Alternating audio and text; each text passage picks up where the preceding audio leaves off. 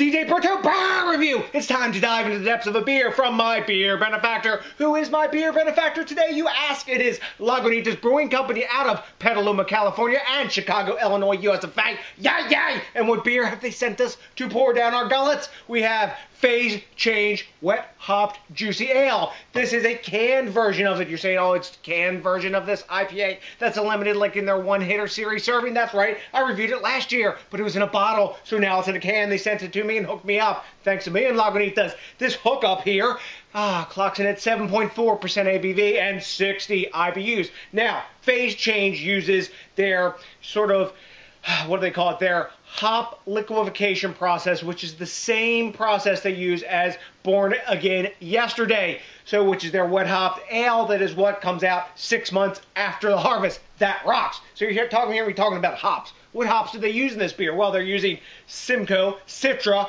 and mosaic that rocks. Then they dry hop this bad boy with Sabro and Cashmere, even Mo Betterer. And that all sits on a base of malts, which are oat and wheat.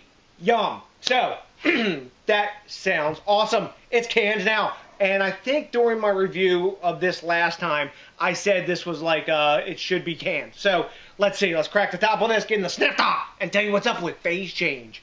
Ah, from Lagunitas. Ah, lovely crack off the top. Let's get it in the glass. Mm-mm-mm. I guess these days, if it's an IPA, a lot of times it's coming in pounders. You still get bottles here and there in 12 ounce cans, but pounders, mm, seem to be the packaging of the day. So let's talk about the appearance. It's a gorgeous, not totally opaque, but pretty hazy golden amber color with some, I guess, a little bit of going towards the orange spectrum, but deep amber. May look darker than that to you on camera. We've got a solid one finger and a smidge of super tightly packed eggshell colored bubbles. Excuse me. And when I swirl it, Yeah, it looks like we're going to get some glass lacing. And there are tons of alcohol legs just grabbing down the inside of that gla glass there. Look at that beautiful brew. Ha ha! It's pretty.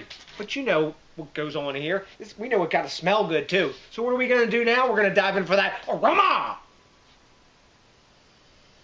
Mm, a big, big punch mm, of stone fruit, like peachy apricot Well, I don't remember getting that last year, but anyway, it's it's going to change every year, right? Because it's from that harvest or whatever before. But mm, big punch of citrus after that, pine, nice dankness rolling up.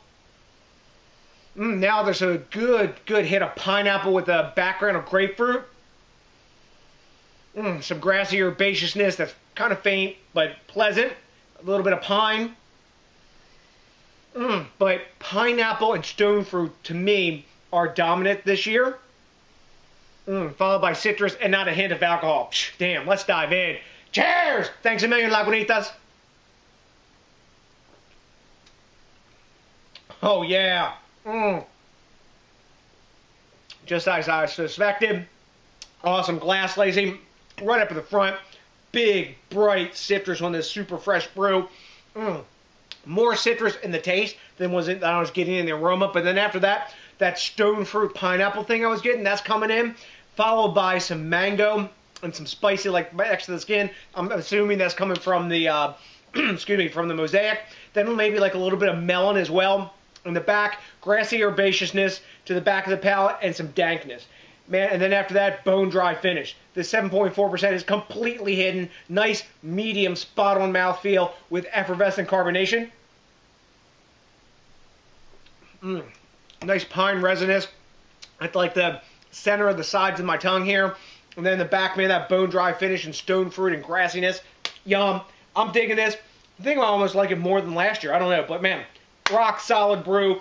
Not really that much to critique about it. But somebody's got an opinion. Let's grade it. At time of recording, Beer Advocate is giving phase change from our friends at Lagunitas 4.12 out of 5. So that's probably, I'd say, like a 90, 93 for that scale. now their sister company now, since Untappd bought them, or maybe their their master company, but they're still separate grading scales, so I'll use them both. Why not? Um, Untappd is giving this 4.08 out of 5. Likely the same score, A range for both of them. Let me see here. Let me get a taste. Solid, super solid beer. I just want a little more of like um, maybe off-centering flavor, like a little more dankness maybe. um, or a little more resinous, but I'm going to go real high A on this. I'm going 97.